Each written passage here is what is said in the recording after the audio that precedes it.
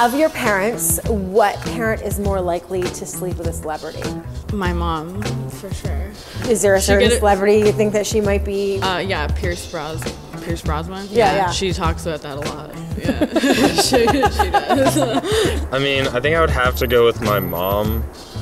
I couldn't really give you a reason. Have you thought about that at all, or that just came to your No, head no, now? this this definitely is the first time I'm thinking about this. Good, okay. Between your mom and your dad, who is more likely to sleep with a celebrity?